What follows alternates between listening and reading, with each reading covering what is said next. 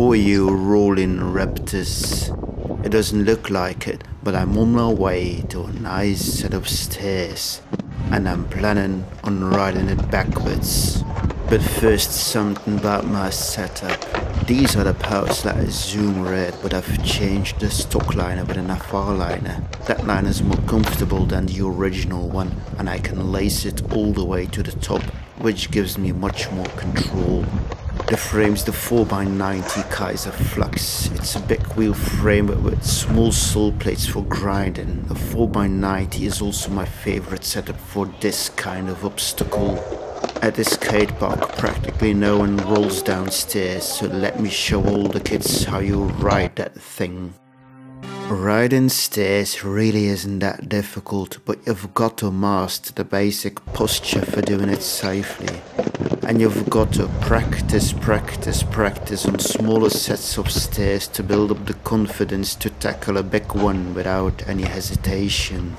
Speed's your friend, but it's scary to approach those stairs at some speed. That seemed to be an attack on my camera.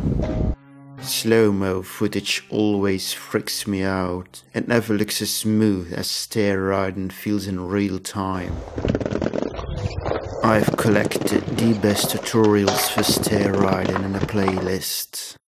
And yet another skateboard throws itself at my camera. Pathetic. What you don't really see is that most of my weight is on my front leg, not on the back leg that is leading. I really push my shins into the tongues of my liners. Your weight has got to be on your toes, otherwise you'd fall backwards and break your neck. Let's try not to die, shall we? Thanks for watching. If this video brought some light into your dark depressing day, then honor it with a like. Gratitude. Take care, watch your back and keep rolling.